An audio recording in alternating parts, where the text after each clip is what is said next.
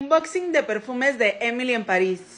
Bien, al abrir la cajita lucen de esta manera y podemos notar que es un set de tres perfumes. Este que tenemos por aquí se llama Dreams y así luce lo que es la presentación. Tiene un olor riquísimo, huele casi casi como a Chanel, se los juro amigos. El olor es básicamente dulce, pero es un dulce muy ligerito. El olor es riquísimo y se los juro huele a señora de las lomas. El segundo perfume es Champer, no sé si lo estoy pronunciando bien. Así luce, la verdad es, es, que el color me encantó.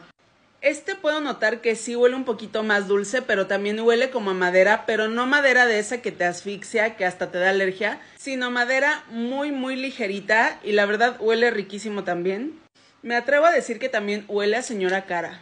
Por último tenemos este otro que se llama Influencer. Este perfume tiene un olor como más a cítricos, pero también a madera. La verdad es que soy malísima para describir los olores, pero puedo decir que este es el que huele más a cítricos de los tres. Huele bastante rico y me atrevo a decir que la verdad es que sí usaría los tres. Si los pudiera ordenar como entre cuál fue mi favorito, mi favorito fue este. En segundo lugar quedaría Influencer y en tercer lugar quedaría este, aunque los tres huelen delicioso.